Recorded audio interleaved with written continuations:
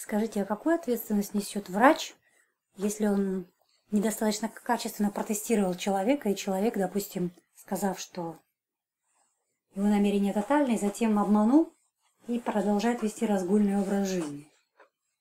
Положим, человек украл деньги, купил алкоголя, покупает алкоголь и уничтожает, например, свою печень.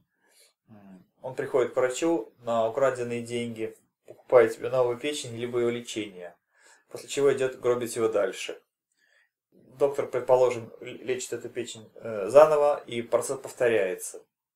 Доктор в данном случае выступает, ну, как та же самая, ну, как проститутка, но э, с той точки зрения, что он продает свои услуги не исходя из понимания ну, законов, на которых ведется целительство, а исходя из желания получения прибыли, либо исходя из, э, ну, из лений и нежелания ну, ос, осмысленно изучать ситуацию, то есть тестировать пациента на возможность а, предоставления ему той или иной помощи.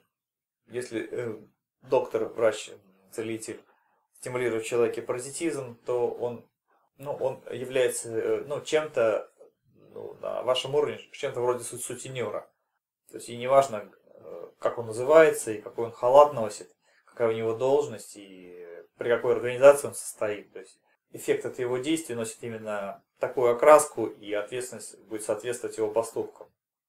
Если человек совершил какую-то ошибку, то он за нее все равно будет расплачиваться через свое здоровье. А если его кто-то лишил за тот или иной ресурс особенностей, если ресурс для него незначим, этой проблемы, то получается, что человек не несет ответственности за совершенные поступки. То есть он не, ничему не научится, а будет заниматься саморазрушением продолжительное время и подобным способом влиять на окружающих, поскольку фактически разрушать ну, себя самого одного невозможно. Человек, общаясь в обществе, переносит свои негативные качества, свои негативные проявления на окружающих. Как личный говорит, пример, так и на полевых, там, э, биологических и на каких-либо других, э, каких-либо других формах. А если врач делает это всю жизнь по незнанию, и если врач делает это всю жизнь осознанно, разная ли у таких людей будет ответственность? Если человек не знает, что он не понимает, что он делает, ответственность у него меньше. Но каждый врач должен понимать, что он делает, для кого и почему. Если ты всю жизнь сидишь с винтовкой и отстреливаешь людей, но думаешь, что это не люди, а животные, с тебя ответственность маленькая, но в следующей жизни ты все равно окажешься по ту сторону, по ту сторону забора тебя все равно будут отстреливать. Разница лишь только в том, что если ты этого не понимал, у тебя будет какой, какой-то небольшой шанс на спасение, что кто-то примет во внимание ту ситуацию, что по ту сторону забора не, не все достойны уничтожения. То есть много шансы будут не очень велики.